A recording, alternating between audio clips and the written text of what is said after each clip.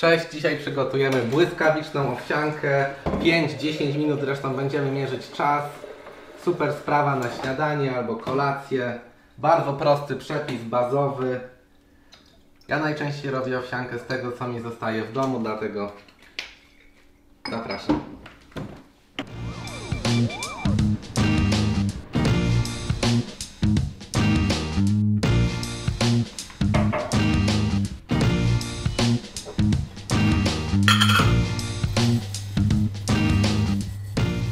Użyjemy płatków owsianych, najpopularniejszych. Pół szklanki to jest 70 gram, taka klasyczna szklanka z Ikei. Do tego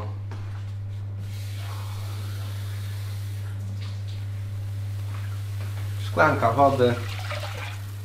Można użyć samej wody, można użyć mleka roślinnego. Ja robię na musie kokosowym z tego powodu, ponieważ nie lubię mlek roślinnych, ponieważ raz robię owsiankę, góra dwa razy w tygodniu potem już nie ma co z tym mlekiem zrobić i zazwyczaj jest do wyrzucenia.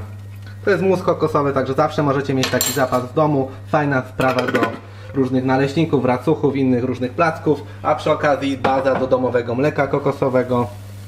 Jeszcze raz przypomnę składniki. 60-70 gram płatków owsianych na osobę, e, do tego dwie solidne łyżki musu kokosowego i szklanka wody.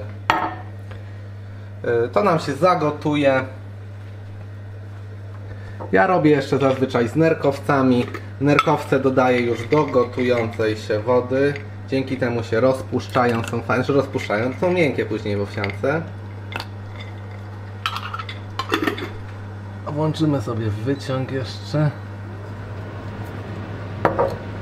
To nam się za chwileczkę gotuje, zagotuje woda.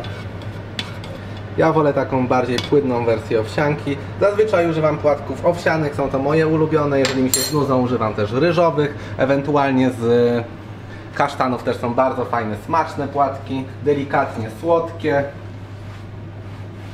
Już nam się woda gotuje. Zmniejszamy ogień, żeby nie przypalić. O kurczę, zapomniałem włączyć stoper, miałem włączyć. Ale to góra trwa, nie wiem, z 30 sekund. Będziecie wiedzieć, ile rzeczywiście się robi takie śniadanie. Albo kolację.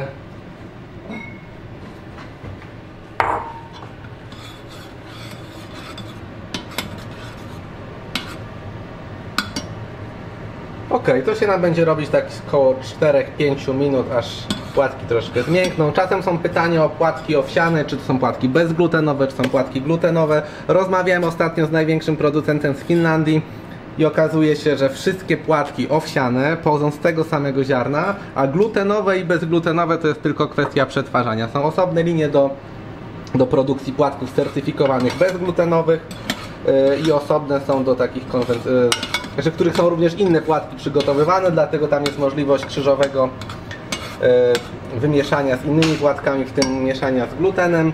Także płatki są te same. Moim zdaniem, jeżeli ktoś nie jest chory, nie ma sensu przepłacać. Możemy sobie dosłodzić to syropem albo daktyle też czasem kroję w kosteczkę, też są bardzo dobre owsianki. Jeżeli nie możesz używać cukru albo nie chcesz używać cukru, erytrytol będzie też dobrym rozwiązaniem albo ksylitol ewentualnie, yy, ewentualnie też.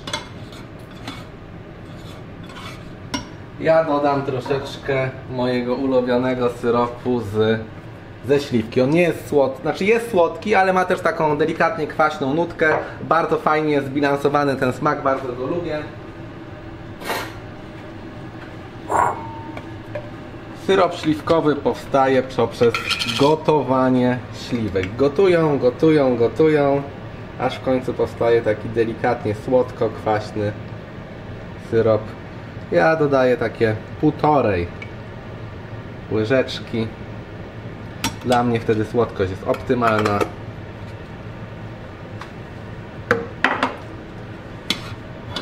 Już nam się delikatnie owsianka zagęszcza. Parę minut i będzie gotowa. Ok, owsianka gotowa. Jaki mamy czas?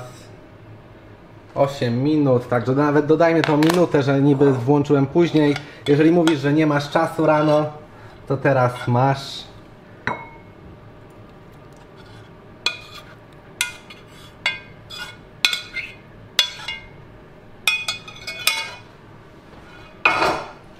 Na górę, żeby to wyglądało jeszcze fajnie, sobie damy parę nerkowców.